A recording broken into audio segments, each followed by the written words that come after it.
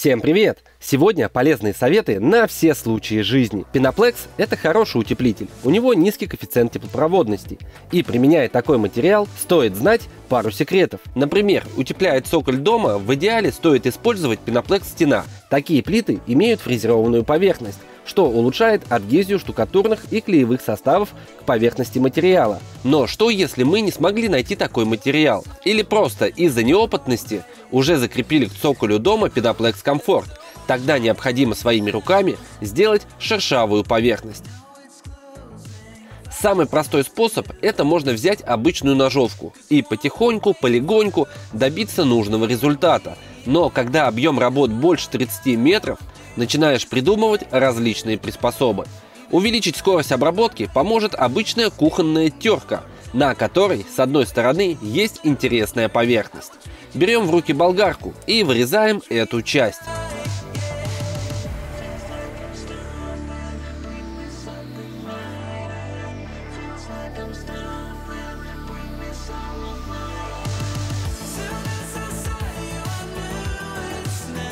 Замеряем прямоугольник и отрезаем кусок доски по размерам.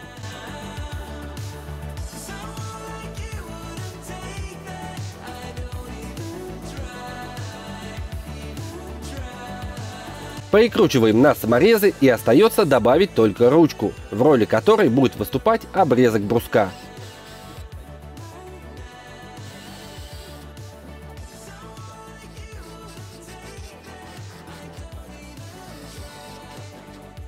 По итогу мы получаем что-то в виде шпателя для обработки пеноплекса. С такой самоделкой уже в разы скорость работы увеличивается, и с такой поверхностью адгезия будет лучше.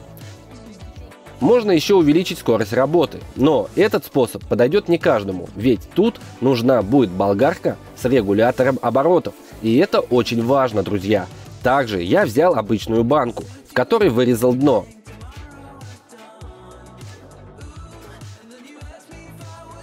Затем керном и молотком пробил кучу отверстий, чтобы получить что-то в виде терки.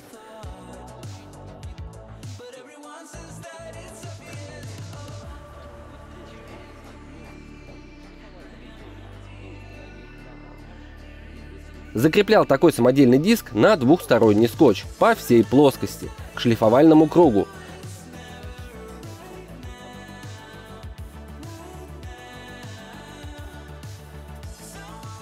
И установив на болгарку и выставив на самый минимум обороты, можно быстро обрабатывать поверхность пеноплекса, прям буквально за считанные секунды.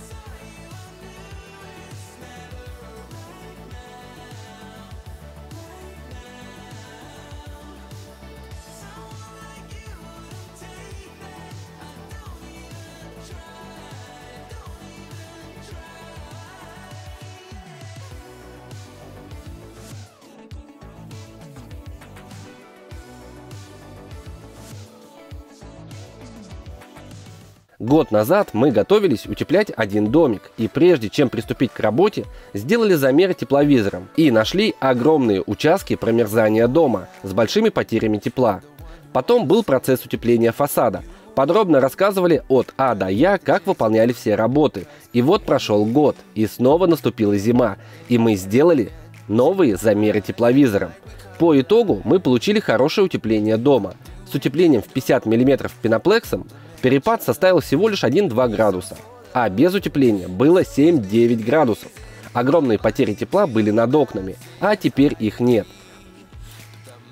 Ну, там сверху пропускало, а сейчас получается окно. Чисто само окно, да, рама. Ну, то есть сосульки там, я даже вижу. Ага, то есть можешь отрегулировать окошко надо? Ага. Углы внутри дома чувствуют себя отлично. Утепляя такой фасад, мы пользовались различными хитростями. Например, для быстрой разметки утеплителя можно использовать всего лишь обычную рулетку.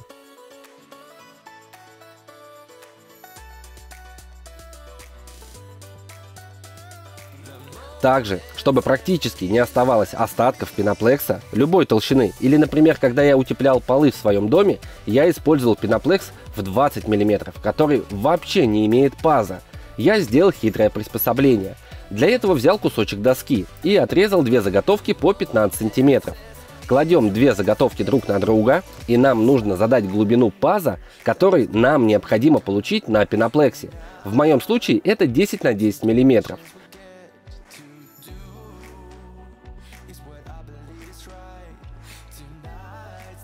Чтобы получить такой квадрат, добавляю кусочек фанеры, который приклеиваю на монтажную пену и фиксирую финишными гвоздями.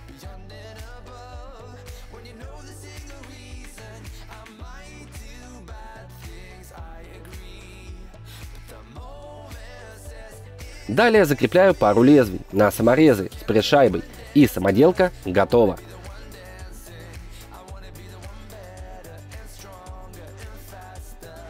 Таким образом, получается вырезать ровный паз 10 на 10 в пеноплексе толщиной в 20 мм. Работать такой приспособой оказалось очень удобно и быстро, и с помощью нее я сделал шип-паз на каждом листе при утеплении своего пола, тем самым качественнее перекрыл мостики холода.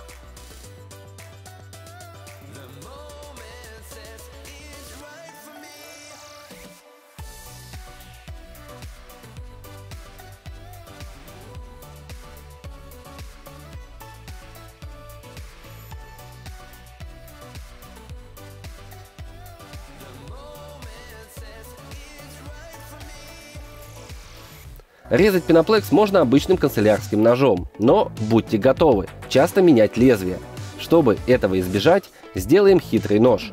Возьму старую пилку для лобзика и обточу края, чтобы при разрезе пеноплекса не было крошек и лишнего мусора.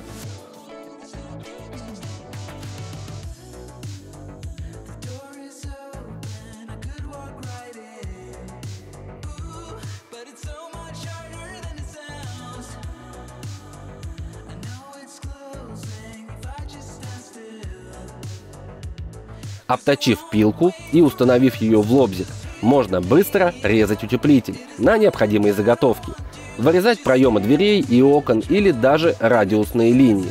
Лезвие тут вечно острое и не будет отнимать у вас время на замену лезвий или еще больше на поиск самого канцелярского ножа. То он в кармане, то забыли на окне или на лестнице, так что при большом объеме работ это полезный способ. Напишите, какие вы еще знаете хитрости при работе с этим материалом. Поставьте лайк, если видео было полезно, и подписывайтесь на канал. Всем добра, удачи, позитива. Пока-пока.